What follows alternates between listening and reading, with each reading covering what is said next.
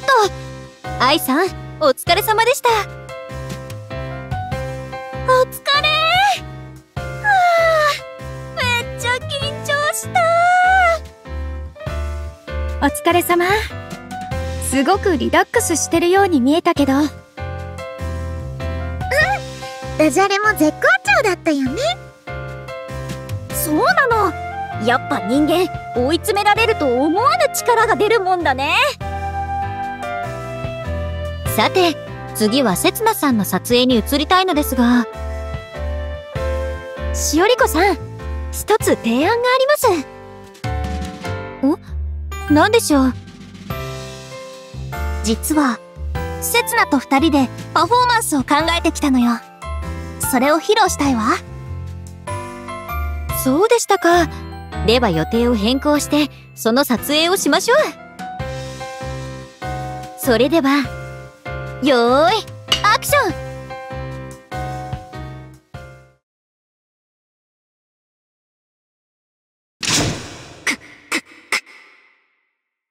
我が名は打天使ヨハネ。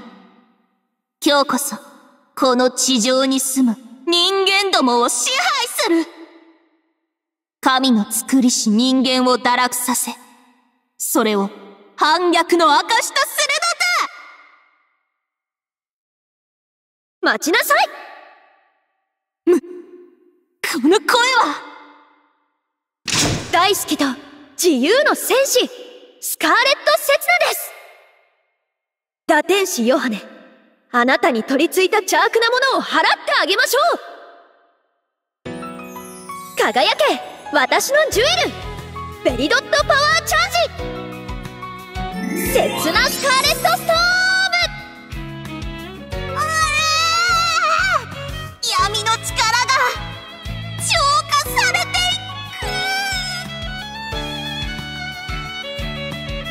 やるじゃない。乾杯よ。ガクリはあ今日もまた世界を救ってしまいました。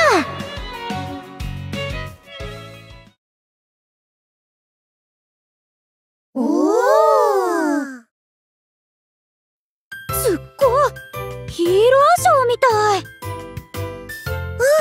周りで見ていた人たちも拍手してる。ありがとうございました。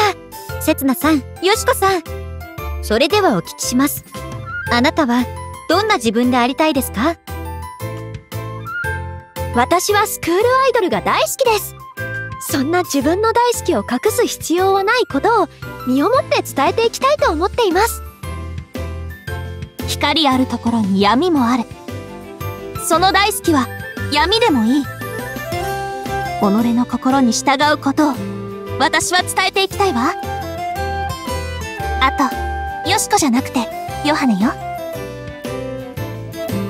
失礼しました。せつなさんヨハネさんありがとうございました。